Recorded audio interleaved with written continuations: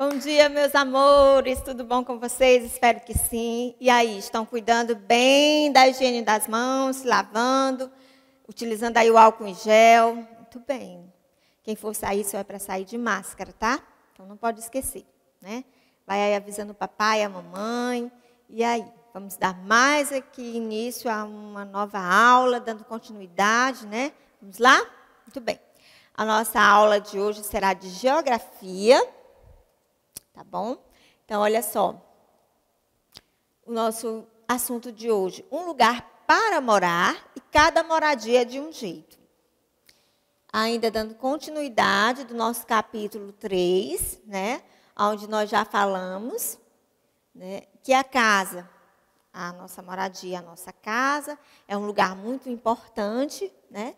Pois Nela, nós nos sentimos mais protegidos com a nossa família, não é isso? Muito bem. Então, dando continuidade aqui ao nosso capítulo, agora é, nós iremos abrir o nosso livro na página 202, tá? E vocês vão estar acompanhando com a tia.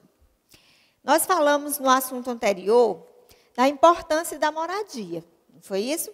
Que ela nos abriga né, do sol, da chuva, do vento, né? E hoje nós vamos falar um pouquinho mais sobre o lugar para morar. Vamos entrar nesse assunto aqui, vocês observarem. Você sabe que muitas pessoas não têm uma casa para morar? É. Nessa situação, as pessoas não têm onde se abrigar e vivem nas ruas e nas praças e etc.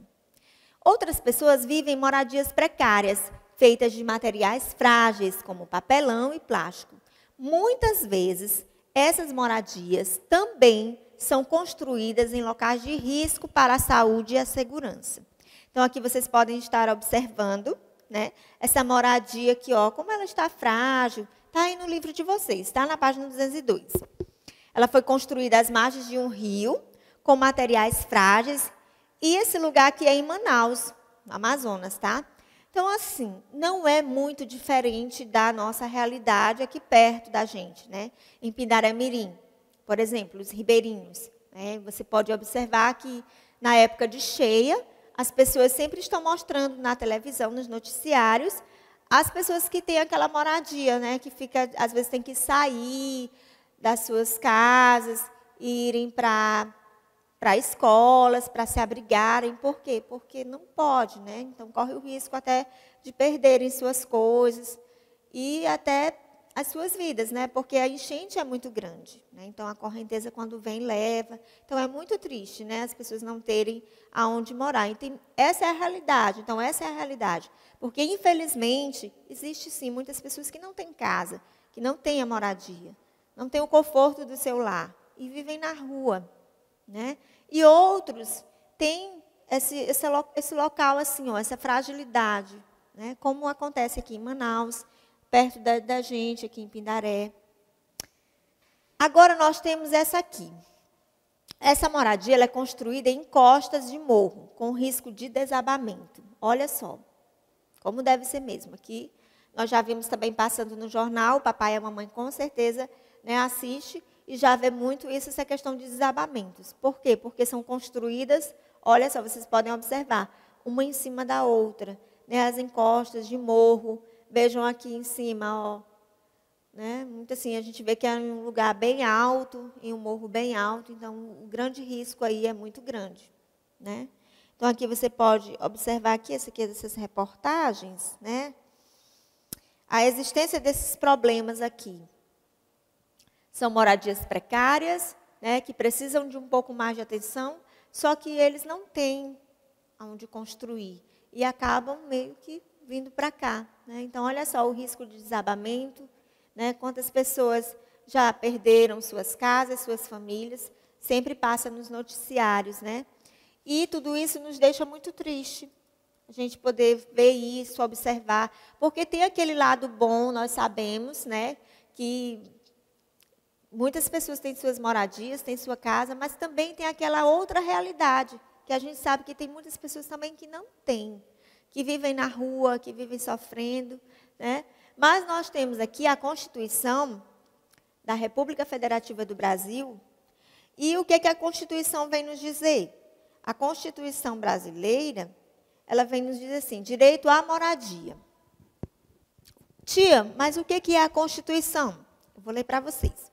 A Constituição brasileira é o conjunto de leis que orienta a vida em nosso país. Leia o trecho a seguir que faz parte da Constituição brasileira, tá? Então, olha só. A Constituição brasileira é o conjunto de leis, tá? Então, é o conjunto de leis, aqui dentro está cheio de leis, né? Que representa e que orienta a vida em nosso país. Então, o, o presidente tem essa Constituição, né? então ele sempre está falando nos noticiários dessa Constituição, tá? Aqui é a capa de um exemplar da Constituição, tá bom? A tia vai ler aqui o artigo, o artigo 6 que são direitos sociais, a educação, a saúde, a alimentação, o trabalho, a moradia, o transporte, lazer e a segurança, tá? Então, eu peço, por favor, que você sublinhe no texto o nome moradia. Sublinhar, passa uma linha aí embaixo do nome moradia, tá? Para especificar. Ou seja, previdência social, a proteção à maternidade e à infância, a assistência aos desamparados na forma dessa Constituição. Né? Ou seja, além do, da alimentação, do trabalho, do esporte, do lazer, da segurança. Né? Então, ele está voltado, a Constituição está voltada para tudo isso. Tá bom?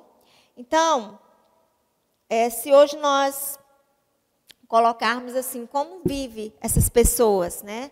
Que não têm casa, que não têm abrigo, que não têm direito. Todos nós temos esse direito, né? A moradia e tudo. Mas só que existem pessoas que não têm. Então, como deve ser sofrido para essas pessoas que não têm, né? Não têm essa assistência, né? Não têm esse acesso a uma boa alimentação, não têm a sua moradia. E a Constituição ela vem nos dizer que todos nós temos esse direito. Né? Temos esse direito de ter a nossa casa, de termos a, a, a saúde, a alimentação, o trabalho, o transporte. Então, é lei, é um decreto que é lei né, em nosso país. Então, cada moradia é de um jeito, tá? Ao caminhar pelas ruas do município onde mora, você pode observar muitos tipos de moradias, tá? As moradias são construídas com diferentes materiais e têm tamanhos, cores e formas variadas. Nessa parte aqui da, da moradia, em que cada um é de um jeito, hoje nós não vamos entrar muito a fundo, tá? Mas no próximo capítulo nós iremos ver. Mas a tia trouxe aqui, está no livro de vocês, na página 204, vocês podem estar observando aí. Né? Nós vamos falar sobre três tipos aqui de moradia. Nós temos a casa térrea, o sobrado e o apartamento, tá? Então aqui são os três tipos de moradia mais comum aqui na nossa região, né, na, nas outras cidades, por aí. Então a gente sempre vê esses três tipos. Né, a casa térrea, casa térrea possui apenas um andar. Aqui, ó, casa térrea que é a mais comum, né? O sobrado possui dois andares. E o apartamento faz parte de um prédio com mais de dois andares. Então, aqui em Santa Inês, nós já temos né, esses três tipos de moradias. Né, aqui na nossa cidade, vocês podem observar, nós temos é, especificamente né, as, a, a, a, casa de sobrado, a terra e o apartamento fazem parte já da nossa realidade. Antes, nós não tínhamos né, a questão do, do apartamento, era algo assim que não tinha muito assim, a gente não via muito, mas hoje, né, hoje você vê bastante, não só a casa terra, não só o sobrado, mas sim o apartamento, né? Então as pessoas hoje estão fazendo mais o uso assim, né? Estão voltadas mais também para apartamentos, né? Comprando mais apartamentos, tá bom? E aqui está na página do exercício, a nossa agenda de hoje, a página 204 e 205, tá bom?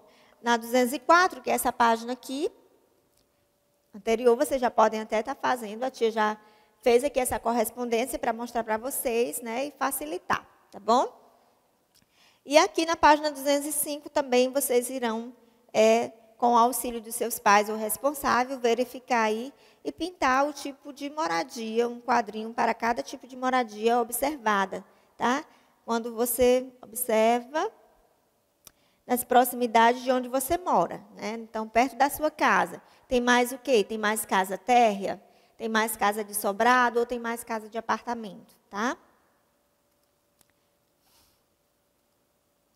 E a tia é, continua deixando essa imagem bonita aqui para vocês, né? Finalizando a nossa aula. Minha casa não tem luxo, mas para mim é o melhor lugar do mundo.